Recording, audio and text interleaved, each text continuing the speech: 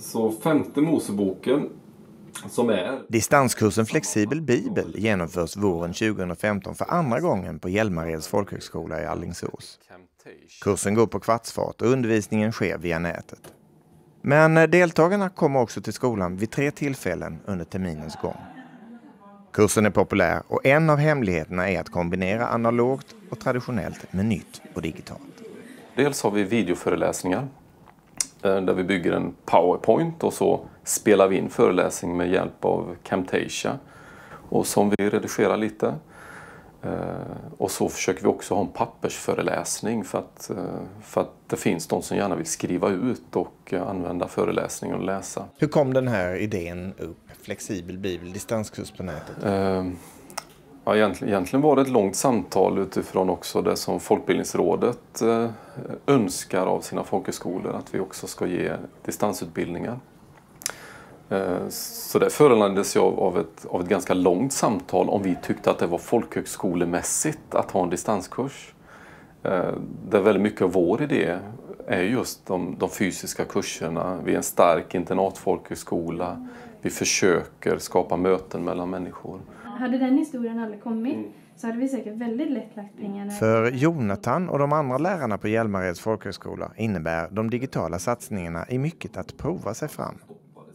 Tillsammans med deltagarna testar man olika sätt att forma uppgifter, att kommunicera och att stimulera diskussionerna. Just nu så har vi en fysisk plats på Google+. Där lägger vi ut vår undervisning. Där har vi också möjlighet till att kommentera och ha en viss inlämning. Vi använder mail, vi använder telefon, vi använder sms. Att fånga de digitala bollarna som just nu är i luften, ja, det har blivit ett sätt att komma vidare. Genom att lyssna på vad deltagarna eftersöker och behöver får personalen tips om hur man kan fortsätta att utveckla det digitala lärandet på skolan. Det kan vara en önskan eller en fråga från våra studerande att hur fungerar det här? Varför, varför, varför, kan vi inte få det på det här viset? Och, och, det kan man ju uppfatta som krav men det är ju lite kanske nycklar till eh, ja det här borde vi kanske syssla med. Alltså de sista åren har inneburit att vi har tagit ett, ett steg längre i förstå hur vi kan utveckla vår pedagogik eh, och vår, vår interaktion och möte med, med de studerande. Här har vi en, en turkisk minaret. Jag känner igen det på den här eh, halvmånen här uppe. Som många tror är en muslimsk symbol. Men som är en turkisk symbol egentligen. Som en insikt är att de digitala verktyg som används på distanskurserna också fungerar för de elever som är på plats i och på skolan. Att till exempel spela in sammanfattningar av sina lektioner ger fler möjligheter att plugga utifrån sina personliga önskemål och förutsättningar. Det är många som tycker det är lätt att lära sig eh, genom det muntliga.